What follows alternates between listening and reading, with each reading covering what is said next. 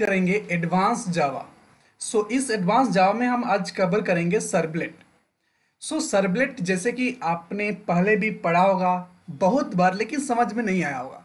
लेकिन मैं इस वीडियो में बात करूँगा सर्बलेट का रियल यूज़ आपको सर्बलेट क्यों पढ़ना चाहिए?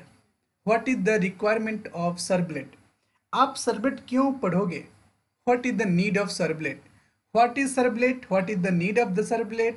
You are going to use this servlet and why are you using the servlet? मतलब कि अगर आपके पास सर्वलेट नहीं हो तो क्या आपका काम चल सकता है? या चल सकता है। सो so, कैसे चल सकता है? इस सभी के बारे में आज हम डिस्कस करेंगे। रिक्वायरमेंट क्या है सर्वलेट का? और इसके पास क्या क्या मेथड है? और कैसे इसे डेवलप कर सकते हैं? So basic introduction of the servlet आज हम बात करेंगे। तो सबसे पहले बात करते हैं सर्वलेट इंट्रोडक्शन फिर सर्वलेट कंटेनर क्या होता है? सर्वलेट कंटेनर के बाद हम बात करेंगे request and response of the servlet क्या होता है? Advantage of the servlet over the C क्या होता है? सर्वलेट एपलेट क्या होता है? तो सर्वलेट वर्स एपलेट तो सर्वलेट कैसे काम करता है? एपलेट कैसे काम करता है? दोनों में डिफरेंस क्या है? प्योर डिटेल्स में हम आज इस वीडियो में समझेंगे. So let's start now so so, सबसे पहले बात करते हैं कि a servlet is a server तो सर्वलेट होता क्या है? सर्वलेट एक टेक्नोलॉजी है कोई लैंग्वेज नहीं है. This is the one kind of the technology या टेक्निक थ्रू दिस इस टेक्निक के थ्रू हम एक डायनेमिक पेज क्रिएट करते हैं. कैसा पेज डायनेमिक पेज जो पेज रिस्पॉन्स ले सकता है और रिस्पॉन्स वापस दे भी सकता है. तो इस तरह के पेज, जैसे कि आपने पढ़ा होगा H T M L so H T M L से क्या होता है कि आप एक स्टैटिक्स अप्लीकेशन बना सकते हो। यानी कि जो चीज़ें आप अगर रखते हो, वही आपको दिखेगा, वो कोई रिस्पॉन्स नहीं दे सकता है।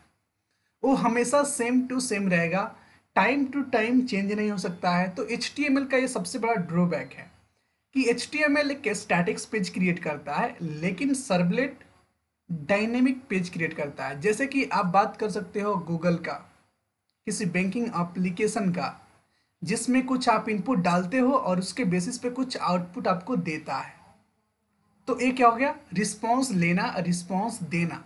तो इस तरह से आप कम्युनिकेट कर सकते हो सर्वलेट से, लेकिन आप एच से कम्युनिकेट नहीं कर सकते हो।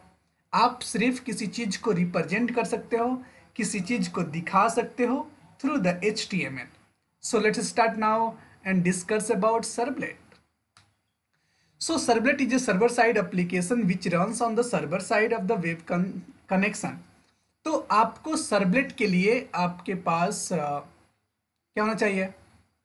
आप सर्वर पे अपना होस्टिंग करोगे जब अपने प्रोजेक्ट को तो ये आपको डायनेमिकली रिस्पॉन्स दे सकता है। जैसे कि अगर एप्लीकेशन की बात करें तो आप यूट्यूब देखते हो। तो यूट्यूब जब लोड होता है तो वन बाय वन करके अपने पेज को रिप्रेजेंट करना शुरू करता है। आप अगर लाइक करते हो तो लाइक एक बढ़ जाता है, एक घट जाता है। तो ये डायनेमिकली रिस्पॉन्स कर रहा है। यानी कि जब भी आप एक्शन कर रहे हो तो उसी समय पे कुछ रिएक्शन हो रहा है।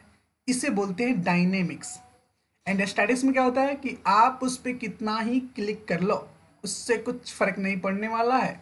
That is called statics page okay so हम बात कर रहे हैं कि जस्ट एप्लेट्स तो एप्लेट्स क्यों है? एप्लेट का क्या रोल है इसमें? सो so, एप्लेट क्या होता है कि ये भी एक सर्वलेट के जैसा ही होता है ये भी एक ब्राउज़र से रन होता है लेकिन इसके पास एक ऐसा ड्रॉबैक है कि इससे आप केवल सिस्टम एप्लीकेशन ही जनरेट कर सकते हो बना सकते हो। ये आप सर्वर पे डायनेमिकली नहीं बना सकते हो। तो इसका भी एक बहुत बड़ा डिसएडवांटेज है। लेकिन पढ़ लेते इसके बारे में कि just applets dynamically extend the capability of the functionality of the browser similarity and servlet dynamically extend the functionality of the server तो ये काम करता है केवल सर्वर पे और ये आपका एप्लेट काम करता है ब्राउज़र पे। I hope it is clear now अब हम बात करेंगे कि एप्लेट में क्या डिफरेंस है और सर्वलेट में क्या डिफरेंस है। एच पेज में क्या डिफरेंस है।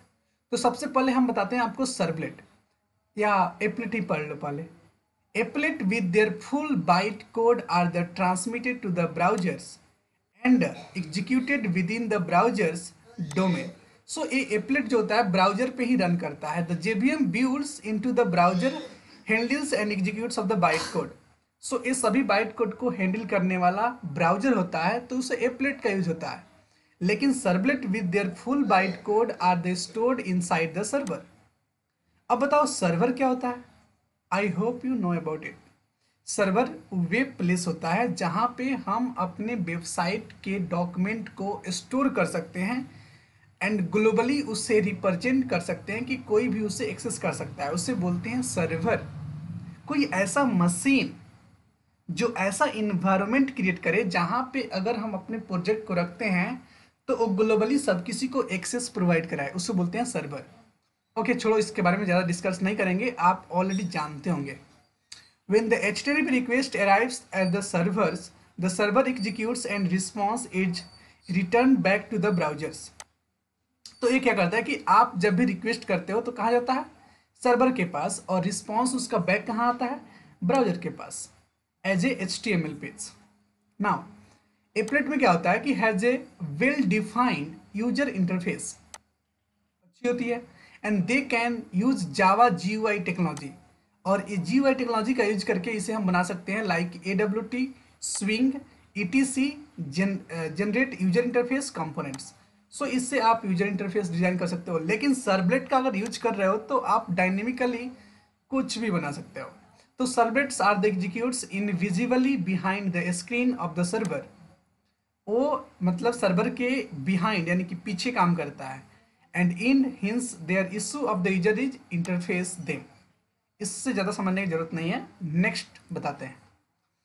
So applet have some restriction for the security reason for example applet can connect to the database अब देखो, एक और बड़ा प्रॉब्लम कि आपका जो एप्लेट है, वो cannot connected with the database वो डेटाबेस से कनेक्ट नहीं हो सकता एक्सेस नहीं कर सकता सिस्टम काम नहीं कर सकता। And file system, it cannot generate any network connection other than server from which it has been downloaded. और कोई भी सर्वर कनेक्शन जनरेट नहीं कर सकता। Applet biggest drawback and servlet don't have any restriction it can do anything तो servlet कुछ भी कर सकता है। सो प्रेफर करो servlet you don't want to learn applet okay now why servlet is required क्यों ज़रूरत है सर्वलेट क्यों पढ़ोगे तुम? To provide say dynamics behaviour to the our website केवल डायनेमिक्स बिहेवियर्स के लिए तुम पढ़ोगे सरप्लेट नहीं, बहुत सारे एडवांटेज के लिए। As you know H T M L can only be use to design the U I okay good मतलब कि बता रहा है कि H T M L can be use to only design the U I U I मतलब user interface H T M L के through कर सकते हैं page and it can be use to generate user interface okay and elements of our application can accept input data okay good but H T M L has no way to process the data it does not know what it has to do with this data and how to generate the next response लेकिन HTML बहुत innocent होता है। ये नहीं जानता है कि कैसे प्रोसेस करना है डेटा को, कैसे डेटा को लेना है और कैसे रिस्पॉन्स जनरेट करना है। इसलिए हम बोलते हैं H T M L only for the representation it can't do anything action okay why servlet is required this is where servlet comes into the pictures thus the servlet is the pieces of the Java code ये Java code ही होता है। And life on the server इसके through आप अपने server पे live हो सकते हो अपनी वेबसाइट को लेकर के। Gets called by the H T page HTML को कॉल भी कर सकता है servlet fetch the data sent by the H page HTML से जो भी डेटा जाएगा, उसे रिसीव भी कर सकता है. Process it communicate with the database और डेटाबेस से बात भी कर सकता है. उसे यूज़ भी कर सकता है. Okay generate the response as H T file and return it और रिस्पॉन्स एच फ़ाइल जनरेट भी कर सकता है उसे रिटर्न भी कर सकता है। And apart from this so many operation can perform this servlet so आप सर्वलेट को इजी मत लो बहुत वेबसाइट में यूज़ होती है। So this is called dynamic space generation and which is the main responsibility of the servlet. और ये सारी चीज़ें मेन रिस्पॉन्सिबिलिटी है सर्वलेट का। ओके okay, हम अब समझते हैं कि pictorial P I C T O pictorial requirements मतलब हम कह सकते हैं कि एक कैसे ज़रूरतमंद है। फॉर एग्जाम्पल्स हमारा एक कंप्यूटर है। हम यहाँ पे बैठे हुए हैं और यहाँ ये मेरे पास ब्राउज़र है मेरे सिस्टम के पास और हम यहाँ से एक रिक्वेस्ट कर रहे हैं। YouTube dot com so YouTube dot com request किए तो इसके पास गया सर्वर के पास। योर जावा कोड जो आपका प्रोग्राम है यूट्यूब का लिखा हुआ है यहाँ पे, वो सर्वर ऑलरेडी लाइव है। ए है कंटेनर कंटेनर रखा हुआ है। कंटेनर के पास वेब सर्वर है। वेब सर्वर के अंदर कंटेनर कंटेनर के अंदर आपका कोड रखा हुआ है।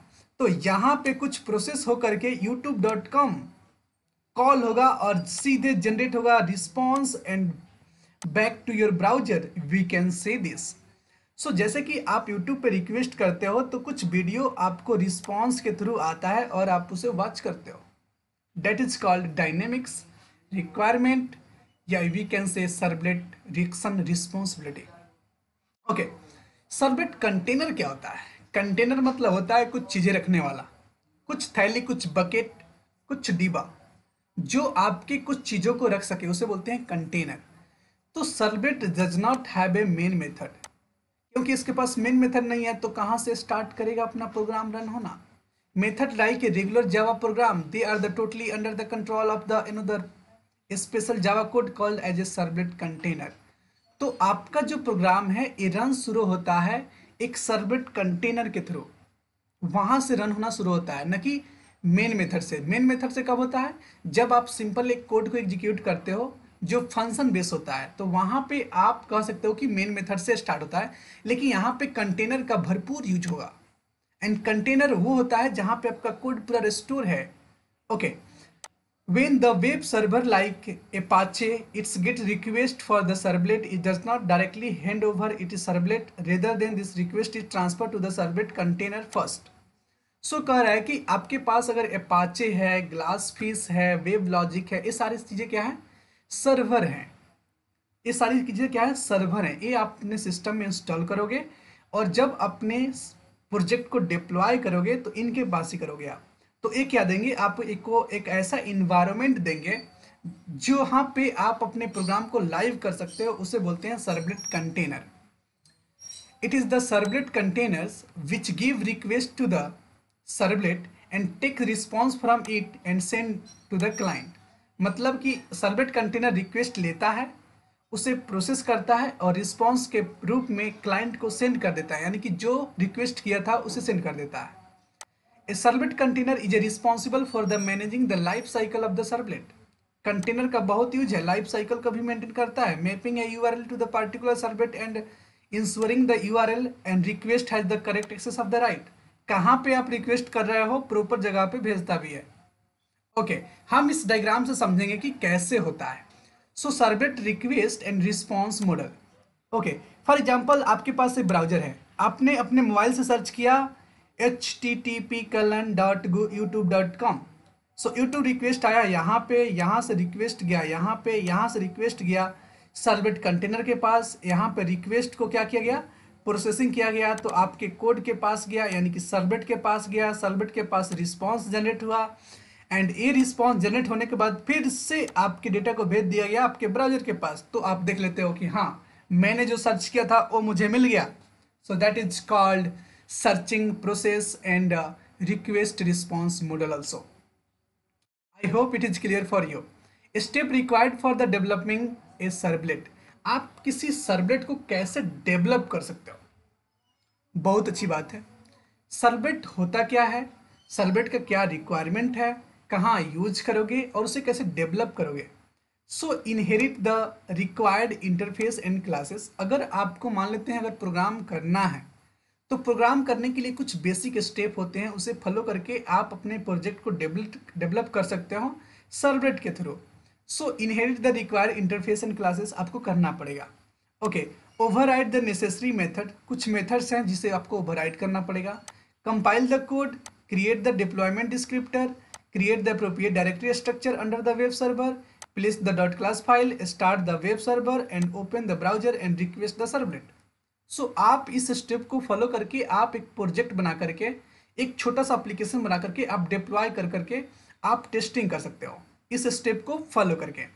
Next inheriting the required interface and classes so in order to design a servlet we have to create a public class which must inherit interface called servlet तो आपके पास एक सर्वलेट इंटरफेस है जिसे आप इनहेरिट करोगे। और available in the package javax dot servlet इसके पास अवेलेबल है। And this interface has a five methods which are get servlet info get servlet config init service and destroy ये आपको मेथड को ओवरराइड करना पड़ेगा।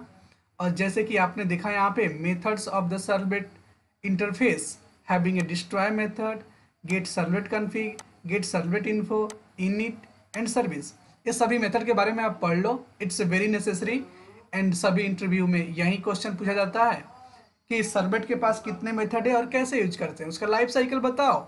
So these are the all interview question I hope it is clear for you thank you so much for watching my video but subscribe करना और like करना मन छोड़ना।